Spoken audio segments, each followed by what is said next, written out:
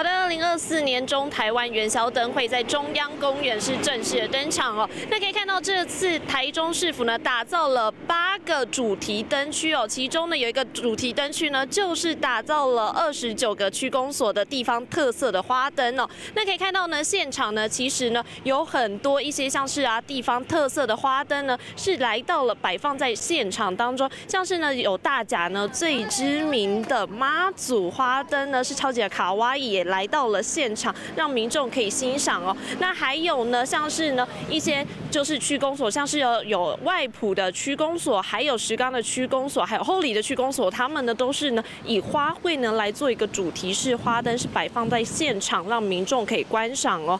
那因为今天呢是补班日哦，但是还是有民众呢一早就前来这里来观看呢这个特色花灯。我们来听一下民众怎么说。今天感觉还不错。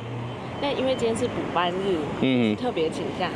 呃，有有些他是今天的话是补班，那我们的工作是可以自己自己排。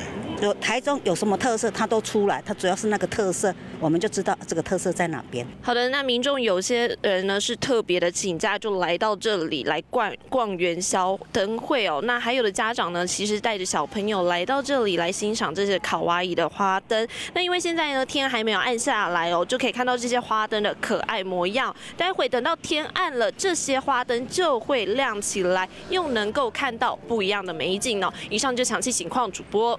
Hello，我是郑雅芳。想要抢先掌握最及时的新闻资讯吗？赶快订阅、按赞、开启小铃铛，锁定华视新闻 YouTube 频道。